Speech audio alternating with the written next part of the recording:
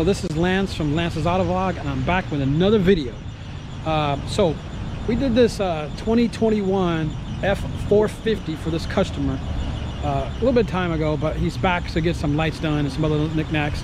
So I took the time to uh, take the video now because they got the truck. So this this is the one bad F450. So we uh, here at the shop did a new bumper for this truck uh, heavy duty I mean this thing is wrapped we didn't do the wrap but somebody else did the wrap but we put the heavy duty bumper on with the winch with the back piece in here with the radar detector. So this this truck here has um, it was ordered by the customer and um, he literally got everything he wanted on this truck. So he bought force wheels which we didn't sell him the wheels but they look sick on this truck. It's lifted. It's got the bed liner on the back. Uh, it's like I said, it's a diesel, so it's an F450. Um, and as you can see, we upgraded the, the lights here, so he has black turn signals. We also did set these in for him, which is the F450 logo, which illuminate, and I'll turn those on in a minute. We also did the, the front grille for him with the lights that work off the switches, with the hinges here as well, with the rigid lights. So th this this front bumper it took four of us to put this bumper on uh, as you can see it's raining here so it's a really trick truck. So i mean it's, it's super duper nice. So like i said before we uh, did the upgrade on this truck. So i'll start it up for you. And this is for the lights on the side right there. So uh, the lights on the side these little f450 things light up off that. And then we did uh, um, an Audison bit one HD virtuoso and we mounted the DRC here. Um, and everything's going off the factory system here off the factory audio package. Um, so we could change he could change the different colors here. So if he wants red he can have red there.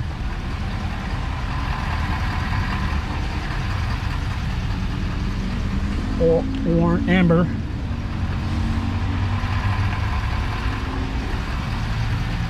Or blue.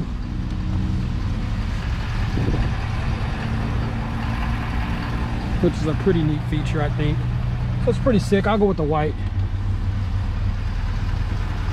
And then so what we did on our end, audio audio wise, is we did four Audison amplifiers in this vehicle. And like I said, the Bit 1 Virtuoso. So we made this custom panel here to fit all the amps here. Um, we went with the Nav TV Zen piece here, uh, as you can see. And what that does is it takes the factory audio system, the audio signal, and converts it to digital, which it's already in digital, I should say that. It allows it to run optical into the Virtuoso.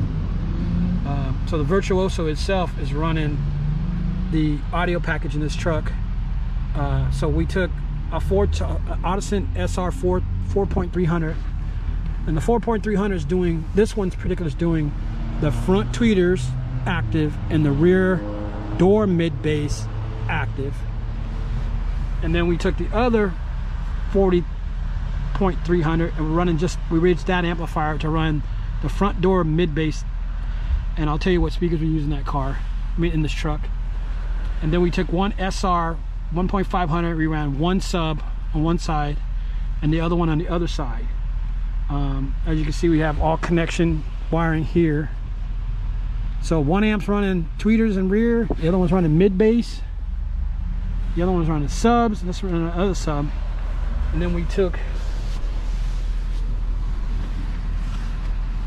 well, this car's still you know, drivable as, you know, it's raining. The customer brought it in. We took two 10 inch uh, Audison AP10s. We put them in the box right here. We built a custom box. Everything's down firing. So nothing crazy about that. Then we took the door panels apart and we did uh, what I like to call level three deadening. So we deaded the outer skin of the truck. And we did the inner piece and we took the Metra speaker rings and we, we um, made those fit in there then we took the Same thing went with the front. So what we did with this one, we took the Mille ML uh, 1700s 0.3 and we put them in the door here. And uh, we deadened the doors as you can see. And then we took the ML 2800s or ML 280.3s, maybe I should say it that way. And we literally did the tweeters up there. So, in a lot of our installs, we do it so um, when the system's in the car, you can't see anything we did. So, in this particular case, everything stealths up for the box and the DRC. And that's a DRC MP. Uh, and what that allows us to do in this car is uh, give the customer the benefit of having a full system, top to bottom, without the car being changed physically. And the way it came out was really nice. Uh, what I'll do now is plug in a computer and show you how we set up the outputs on the system and what kind of equalization and what goes on in this car. But like I said, it's a Bit 1 HD Virtuoso tied into the OEM system using the optical uh, of the Nav TV piece, which, like I said, I'll put that description below, and we'll go from there. So we start by launching the Bit 1 HD Virtuoso software, so I can show you how we set this truck up. Like I said, this truck is pretty simple, but it has a ton of output. And his main thing was he wanted a good amount of bass. Um, and I, I, think we pretty much got, got the customer we wanted to be. So as you can see here, like I said, when I do an EQ for a car, um, we'll EQ certain setups on it. So we did an optical input. Um, the customer has a sub-level control from its DRC. Uh, and you can see, this is just the front speaker by itself. Um, this is how we EQ'd it literally. So if you're looking at the window itself, you can see how we did the EQ for the front, left tweeter, and then we did the front left woofer. You can see what we did on the front left woofer or the front mid bass. And then if you look at the uh, the right, the right's different completely as far as the way it sets up. So you could see the the front setup the way it's it's it's going on the input side, or I should say the output side. As you see, we lowered the tweeters a little bit. So the tweeters are crossed over. If you look at that at the, at the crossover point here, if you look at the crossover point of the the tweeters themselves, the tweeters are crossed over at 2750. That's pretty low when it comes down to it. Uh, and and it, the the 280.3s are pretty large tweeter when it comes down to it. And typically when you get a large tweeter, you can cross it over lower. Not all, but typically in most cases. And then what we did for the uh, mid bass driver, if you look at that, it's bandpassed here at 24 dB per octave at 2750 on the high side and 60 on the low side. So the doors have a fair amount of mid bass. And so when they hit, they hurt hit really well. So literally if you turn the sub down, it sounds like he's got a pretty good kick drum in the doors. And then if you look here on the rear speakers, um, you can see the EQ on the rear speakers. Uh, so we literally EQ the rear speakers slightly different. You can see they're high here, down there. And, and it's a parametric EQ, which this has the ability to parametric or graphic. And what's parametric?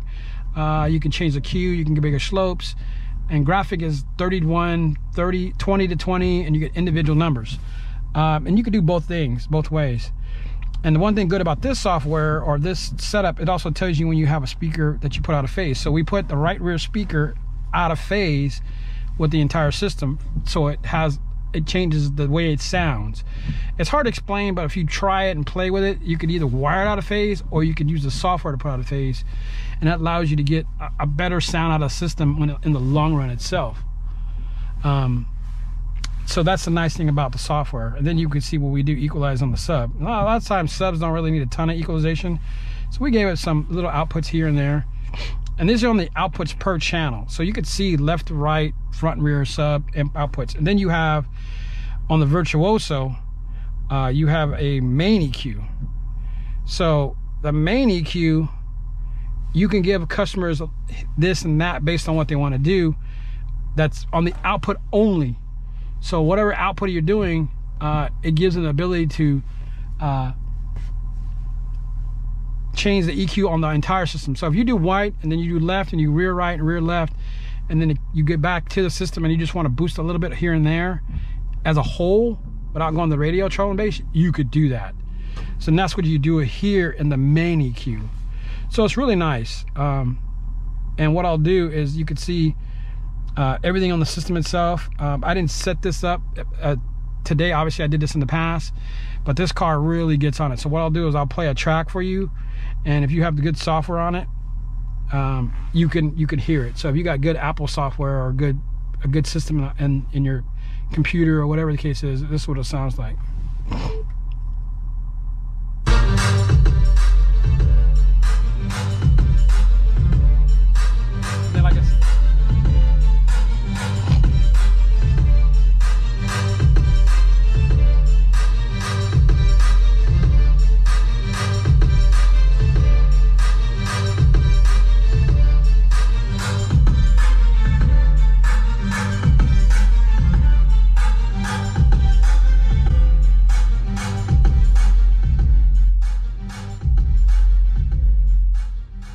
This is this F450 in a nutshell. Like I said, this car kicks butt. Uh, the customer's really happy with it uh, to the point where we, we did another car for him. But this truck has everything um, you could think of as far as system goes. So with that said, don't forget to like, comment, and subscribe to my channel. Uh, and uh, on to the next one. Peace.